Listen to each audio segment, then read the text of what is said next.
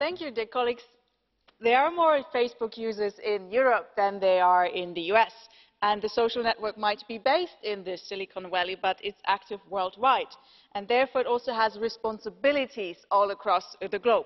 And I've said it before and will repeat it again, Mark Zuckerberg has to come to the EP to answer our questions and a simple apology will not do and will also not do if the commissioners now start to travel to the us and ask for audiences very nicely with mr zuckerberg. that will simply not do.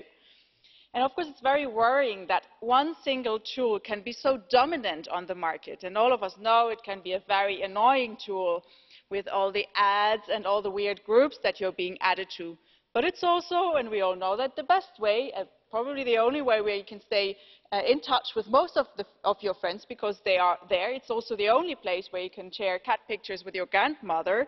Nowhere else could you possibly do that, so we stay there.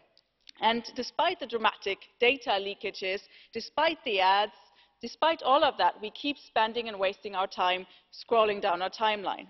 Facebook has become, for many in Europe, a necessity rather than a nice option and that also means that facebook has a huge responsibility and so far it has shied away from taking up this responsibility it has ignored even most basic data protection rules and that must be over once and for all.